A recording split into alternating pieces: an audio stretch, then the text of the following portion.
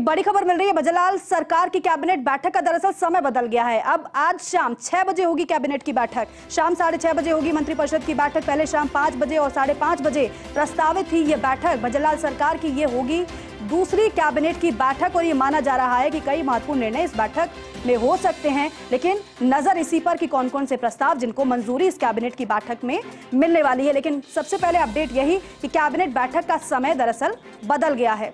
Doctor Rituraj Sharma हमारे साथ जुड़े हैं। डॉक्टर ऋतुराज, सबसे पहले तो यही बताइए कि कैबिनेट का बदल जो समय बदला है, इसके पीछे की वजह क्या और क्या इसमें आज की बैठक में खास रह सकता है?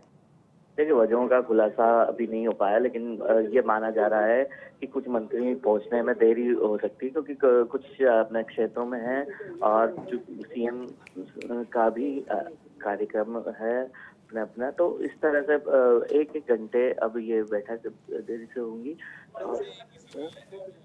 और छह बजे अब ये मुकर्र की गई है कैबिनेट की बैठक और साढ़े छह बजे मंत्रिपरिषद की बैठक होगी। जिसमें संभावित एजेंडा एक हो सकता है कि पेट्रोल डीजल की कीमतों को लेकर बजरलाल सरकार कोई निर्णय करे।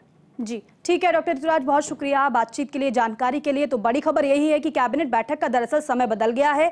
अब शाम छह बजे कैबिनेट की बैठक होगी, शाम साढ़े छह बजे मंत्रिपरिषद की बैठक होगी। पहले शाम पाँच बजे बैठक होनी थी और साढ़े पाँच बजे ये बैठक प्रस्तावित थी। दो बैठक है, एक तरफ़ कैबिनेट की और दूसरी तरफ़ मंत्रिपरिषद की।